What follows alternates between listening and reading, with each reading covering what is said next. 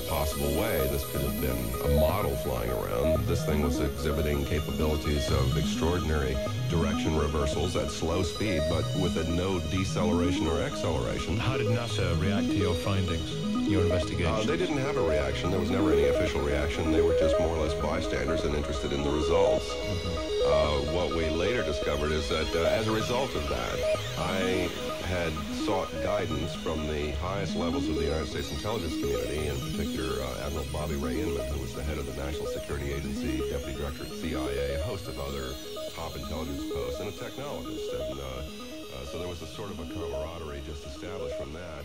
Uh, he had informed me in a documented recorded telephone conversation, uh, inadvertently recorded actually, that the United States government